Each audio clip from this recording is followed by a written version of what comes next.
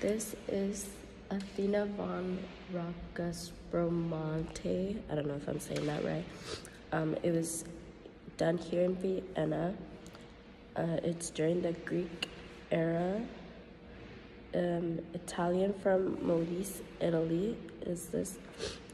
Um, the medium is clay and the artist is unknown, but it's here at the Museum of Fine Arts in Vienna. Um, the historical contribution is that Athena was one of the 12 Olympian deities, I think that's how say it, and the goddess of wisdom, craft, and warfare. The relevance is that people like to make sculptures of idolized figures, and she's seen as a lucky charm. Um, why I chose is it looks very ancient. I'm kind of scared, like if you touch this thing, it might fall apart.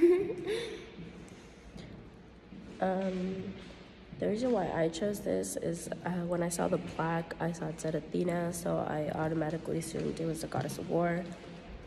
Um, and a personal opinion is that for it being so old, it seems quite intact except for the arms.